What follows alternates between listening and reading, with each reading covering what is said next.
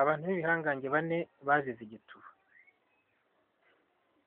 Twavuga nka Bill Clinton wahoze ari perezida wa leta zunze ubumwe za Amerika wagiranye imibonano mpuzabitsina idahwitse n'umukozi wo mu biro bye witwaga Monica Lewinsky.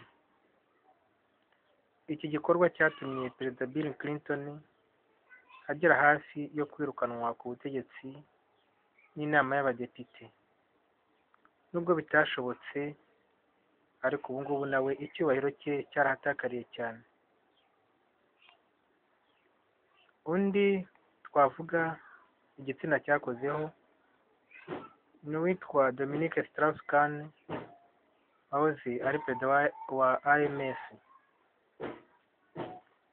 igihe yahuzaga igitsina n'umukobwa cyangwa umugore witwa Nafissatou Diallo wo mu gihugu cya Guinea muri hoteli Sofitel i New York nawe byamukozeho.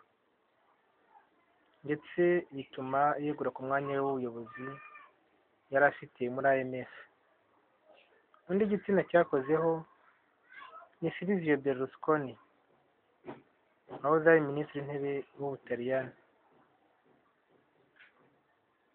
Umubano yagiranye n'umukobwa w'umunyamaroki wari ufite imyaka cumi n'irindwi muri icyo gihe witwaga Ruby.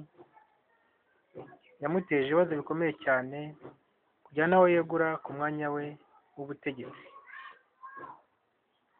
Tutibagiwe uwitwa Samusoni wa kera muri Bibiliya imibanire ye na Dalila yatumye yikatisha imisatsi.